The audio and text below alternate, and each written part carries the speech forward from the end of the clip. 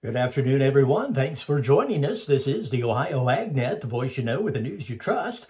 I'm Dave Russell with the afternoon market recap following the close of trade in Chicago on Tuesday, where we find double digit gains at the Board of Trade. September corn 660 up 26 and a half. December corn 655 and a quarter up 26 and a quarter.